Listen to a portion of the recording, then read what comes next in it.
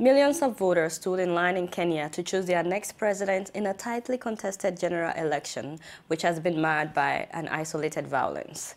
The Elections Commission said some polling stations would remain open late to accommodate those that are still in line.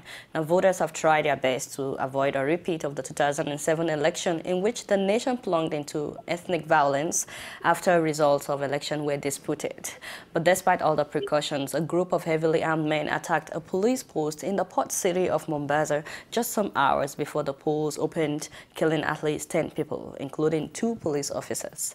The Prime Minister Raila Odinga has blamed the attack on the Mombasa Republican Council, a separatist group that wants Mombasa, the second largest city in Kenya, and its surrounding coastal area to secede. Welcome to Sahara TV's coverage of the Kenyan election. My name is Adiola Fayong. Stay tuned as we bring you a cross-section of opinions about the ongoing election today. Now, our first guest today is is Peter Greste. He's actually a foreign correspondent with Al Jazeera. He's worked in several countries, including Afghanistan, Central Asia, um, Iraq, and so on. He's presently based in Africa, where he covers the Horn of Africa, including Somalia, Eritrea, Djibouti, South Sudan, just to name a few. Today, he's in Kenya, covering this election from Kisumu, and he's going to tell us what has been going on on ground. Peter, welcome to Sahara TV. Thanks very much. Yeah. Well, Peter, let's just start from there. Can you tell us, I mean, today is the big day that we've all been looking forward to, and uh, if you can just tell us what has been going on today, what have you seen so far? What's the situation like on ground? Well, here in far western Kenya, the situation has been remarkably stable. Um, everyone remembers, of course, the violence of 2007, 2008, as you've already mentioned. And I think there was a lot of nervousness about the way this particular poll would go. Um, but the the, the, all of the reports we've been getting, everything we're seeing uh, here in, in, the far west uh, and across, the, across most of the country, apart from those uh, a few isolated incidents on the coast, has been a, a remarkably stable, remarkably efficient, and remarkably optimistic uh, election. We've seen a turnout of about 70% of the uh, registered voters, um, which is pretty high by, by any standards. Um, the numbers are still coming in, but that's what the Independent Elections and Boundaries Commission is telling us. I uh, see. Uh, we saw people lining up.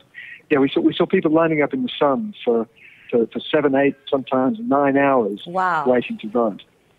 Hmm. Well, um, I'm sure you're also aware of the violence that happened just before the election polls were opened, actually in Mombasa. Uh, what was the reaction of people where you are when they heard about this? Well, people were, were obviously concerned about it, but the thing with Mombasa is that the, the political issues, the separatist issues over there are very, very distinct to the coast. They're very unique to the coast. And so what we saw, the violence that we saw really doesn't apply to the rest of the country. It, it really is um, directly connected with very specific uh, issues um, along the coast itself. And so I think people here were, were shocked and disappointed, mm. but at the same time, we didn't see it as indicative of, of wider problems. I see. Can you tell us about the security measures put in place? I'm sorry, can you say that again? Can you talk about the security measures put in place? The situation. The security, sorry, the, the, security measures oh, the security put in place. Yes. Yeah. yes, of course. I'm sorry. Yes, uh, look, the, the, the, authorities here have been very, very uh, swift to, to, to put uh, security measures in place. They, they moved down re- reinforcements, police reinforcements to the coast as soon as those uh, those the reports of the attacks started to flow in. But um, right elsewhere across the country, and particularly in areas that were hotspot in the last election, the authorities have moved uh, extra police. Uh, in fact, they deployed about 100,000 police and security personnel right across the country. A hundred thousand, um, They're also said? very careful to uh, put the resources they need. In a lot of cases, mm-hmm. uh, police were unable in the past to respond to, to complaints or calls, rather, I see. Uh, um, because they had no fuel um, um, they, they simply weren't able to mobilize themselves. Peter, did you, uh, did you say that like... Uh... They've really gone out of their way to improve the communication system, uh-huh. to make sure that all the police have the vehicles, the tools, the, the, resources they need, the communications equipment to okay. respond to any incidents. And so I get the sense here that even if people wanted to take to the street, uh, the authorities would, would uh, clamp down quickly. Um, Peter, did you say like a hundred thousand security men? Peter, can you hear me? Hello? Peter? Okay, I think that he's having trouble hearing me. Sorry, Um, line's broke up. I'm just getting my voice coming back. Okay, are you, are you able to hear me now, Peter? Peter, can you hear me? Okay, um, I don't think that he's able to hear me right now. We'll, we'll keep trying, but just so you know, he's been telling us that in the area I'm where he is, uh, about th- that. there has not been any violence. Peter, can you hear me? Yeah, that there was no violence, I meant to say, and that the violence that happened in Mombasa did not affect uh, the people at his place. That a lot of people still turned out to vote. He was actually telling us that there were about 100,000 policemen and security men that were uh, stationed all across the country today just to make sure that the election goes well. Peter, can you hear me? Hello, Peter, can you hear me? All right. Okay, so uh, we're, we're working on getting Peter back, but uh, when he comes back, he'll be able to tell us just a comparison of this election with the 2007 election, where there was like a, a great uh, violence that that broke out after the results were announced and people were not happy with the result. He was actually there during that election as well, covering uh, Kenya. So he'll be able to tell us about his experience covering that election and seeing what happened after the election when the violence broke out compared to this election, uh, which has been relatively calm. Okay, I think we have him. Peter, can you hear me? Yeah. Hi, welcome back. so let's let's let's make it quickly. I thought you you mentioned like 100,000 uh, security men were put in position today, right? Yeah, that's right. I see. Okay. So since you were there in 2007, and you know, can you just compare 2007 to today uh, in terms of the people that went out to vote? Were there, were there still like the same amount of people, or do you see more people going out to vote this time around?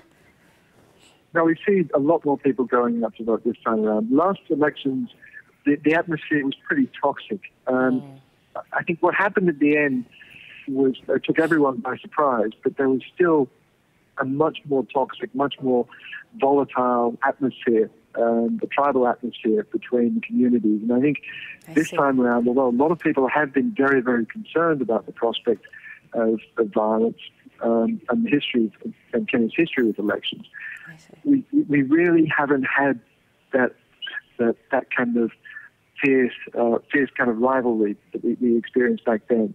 And I think a lot of people have have got turned out to vote almost as a way of of, of challenging the critics, of knocking the critics down who, who expected uh, trouble to continue. I see. And when you were there in 2007 and the election broke out, I mean, what was your first reaction?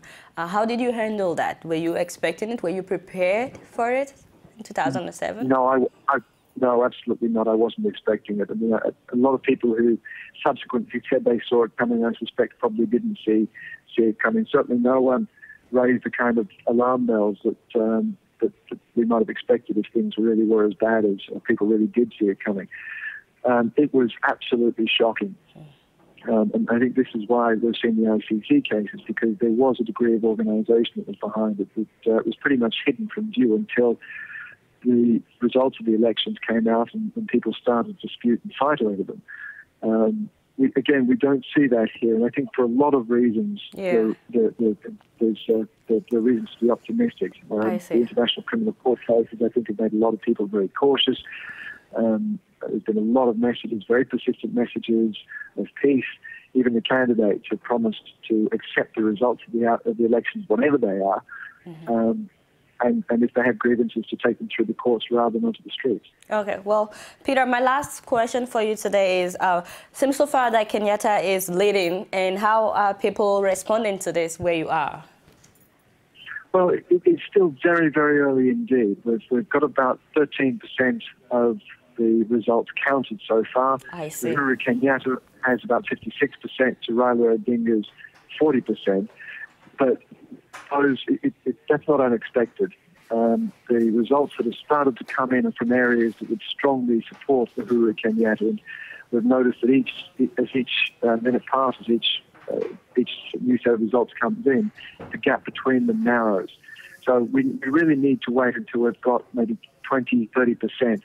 Remember, this election is incredibly close. Um, the opinion polls just before the elections took place uh, were separating the two leading candidates by only a few tenths of one percent. And so it, we may have to wait until well over 50% of the, results are counted before we, we have any clear indication of how this might turn out. I see. Uh, well, also, Peter, I, I just wanted to add to include this. In 2007, you know, there were reports that foreign media uh, is accused of uh, inflaming crisis, and so did that like sort of force you guys to be more careful this time around, or or not?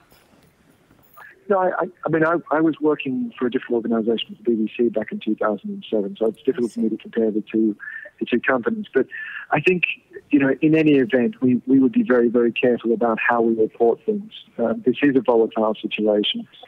Everyone is painfully aware of what happened last time around.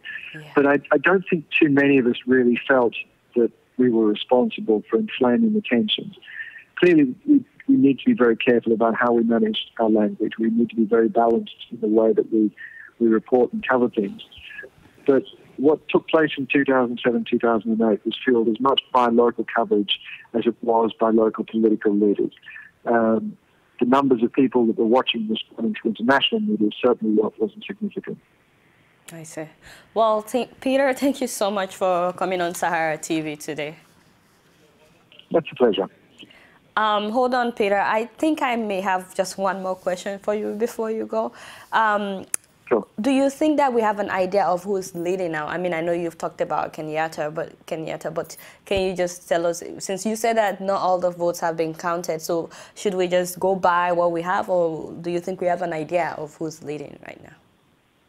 No, I don't think we really do have an idea of who's leading. I mean, it's, it's one of the problems with this election is that. Um, we, we have no real history. Remember, this is a new constitution uh, with new electoral districts. And so we don't have a record of, of we don't have any history of, or, or any statistics of the way that uh, various districts might have voted in the past. So we've got nothing to compare. We can't really, we can't really talk about swings or trends within certain districts to, to draw conclusions about the way the electorate may be moving this time around. I see. Um, so I think we just need to take those numbers at face value 56 to 40 percent, um, at a gap that seems to be closing. So maybe by tomorrow or something, we would have a better understanding. Yeah, it's going to take a few hours, but um, you know, we're, we're, still, I'd say another four or five hours, maybe more. Uh, it'll be early tomorrow morning local time. Okay. Thank you very much once again for coming on Sahara TV. We appreciate your time. Okay, it's a pleasure. Yeah. So viewers, that has been Peter Greste. Sorry, he's a foreign correspondent with Al Jazeera, currently in uh, Kenya, covering the election. Stay tuned. We have more people that will talk about this ongoing election. We'll be right back.